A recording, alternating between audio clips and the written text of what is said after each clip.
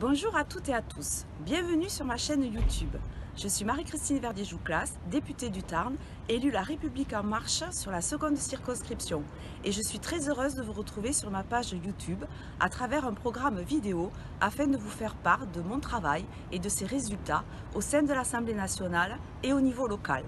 Une vidéo sera mise en ligne régulièrement afin de vous présenter ces actions et aussi afin d'établir un dialogue avec vous.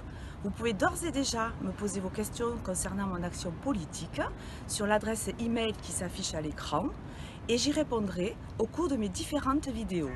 Je vous invite fortement à vous abonner à ma chaîne YouTube ainsi qu'à suivre mes comptes Twitter, Facebook et site internet.